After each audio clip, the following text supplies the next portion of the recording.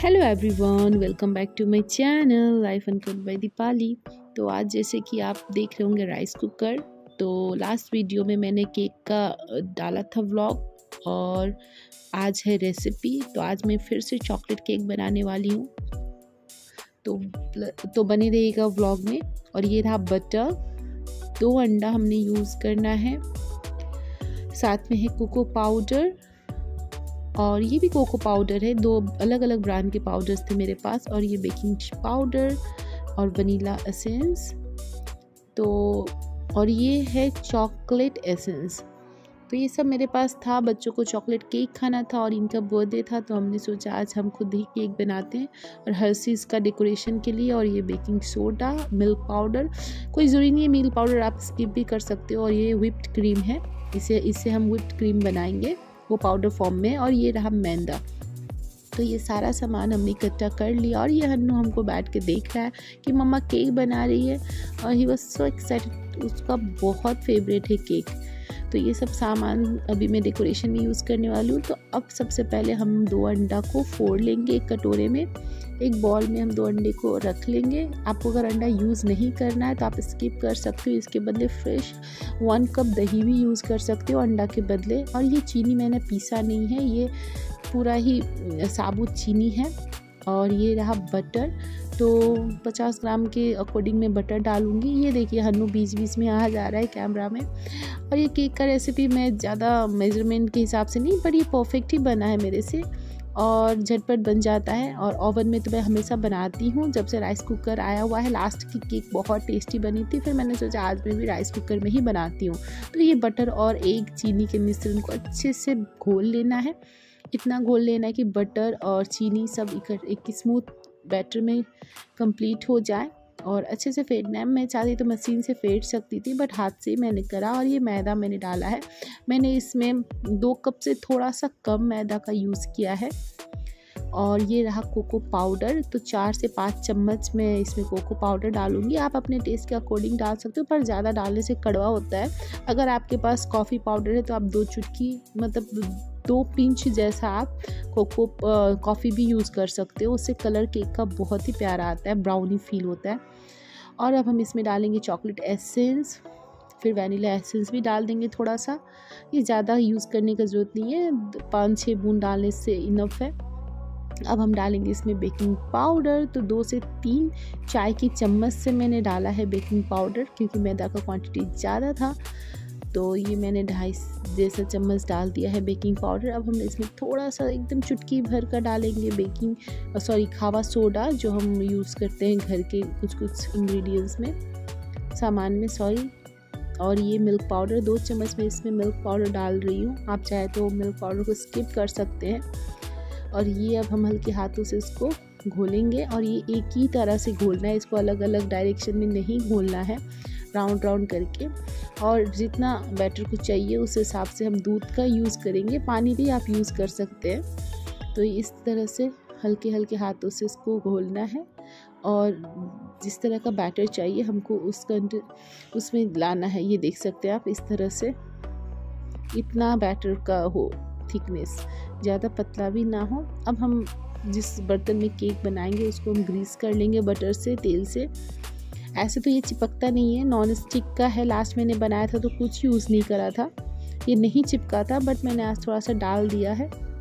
अब इसमें हम बैटर डाल देंगे। ये देख सकते हैं, इस तरह का थिकनेस होना चाहिए।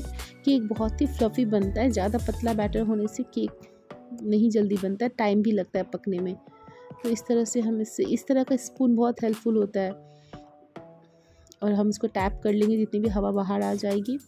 अब इसको राइस कुकर में रख के केक पर आप क्लिक करके ये खुद ब खुद टाइम इसमें सेट हो जाएगा। पच्चीस मिनट का टाइम है, बट ये बीस मिनट बन के तैयार हो जाता है, क्योंकि वो जब अरोमा घर में फैल जाता है।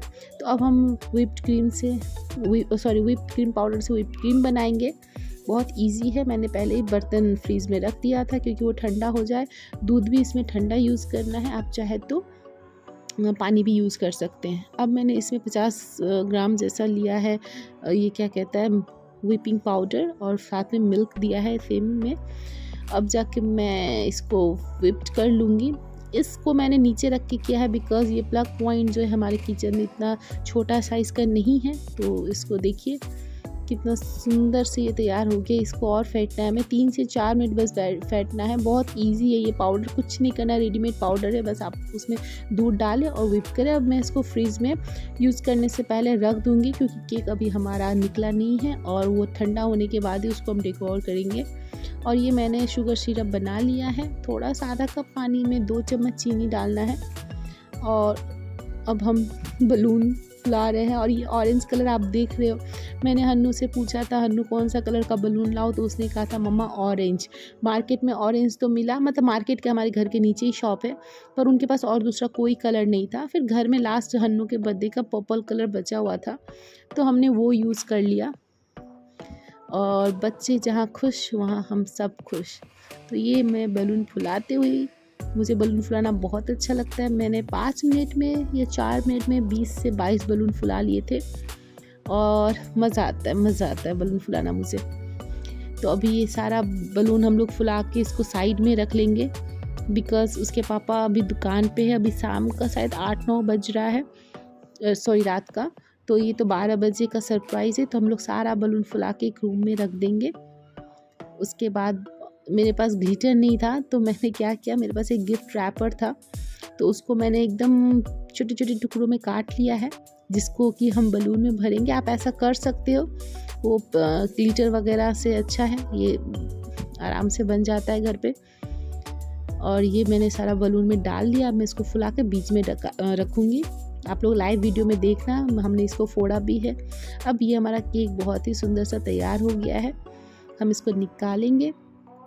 और इसको चेक करेंगे। अगर ये चाकू में नहीं लगा है तो केक बन चुका है।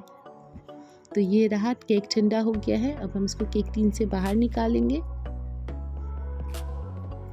आप देख सकते हैं कितना प्यारा केक बन के निकला है।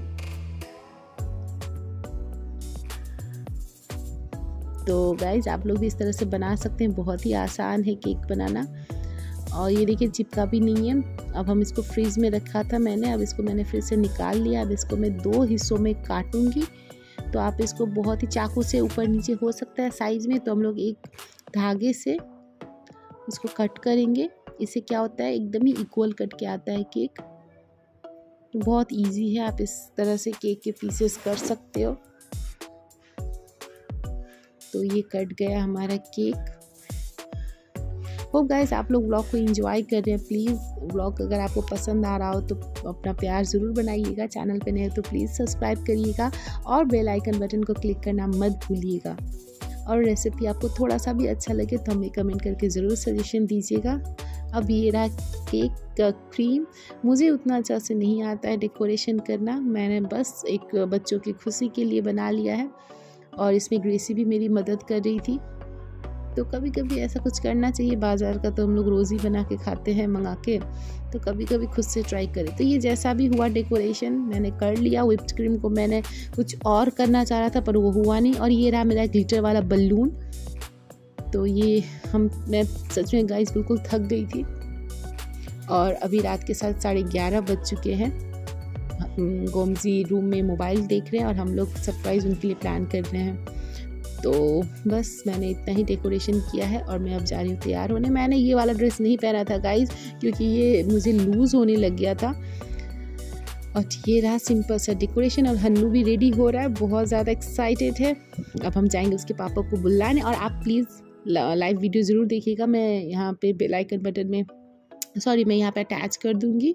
आई बटन में आप लोग देख लेना। बहुत मज़े से इंजॉय किया था और ये हमारा पिक्चर्स तो आप लोग अपना प्यार बनाइए। मैं बार बार आपसे कहती हूँ कि प्लीज़ प्लीज़ प्लीज़ गाइस, अगर नहीं चैनल को सब्सक्राइब किया तो सब्सक्राइब करिए। मुझे बहुत ज़्यादा सपोर्ट मिलेगा और आप लोग का प्यार सपोर्ट का मुझे बहुत ज़रूरत है। और रहा गिव अवे वाला अनाउंसमेंट तो वो मैं जल्दी ही करूँगी। आप लोग प्लीज़ वीडियो को ज़्यादा से ज़्यादा शेयर करिए और हमारी फैमिली को बड़ा करिए।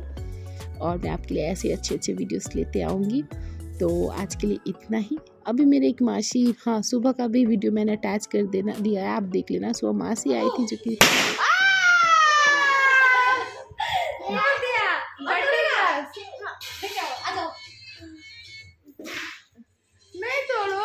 ये लोग देखो, सारा बलून फोड़ रहा है दोनों मिलके।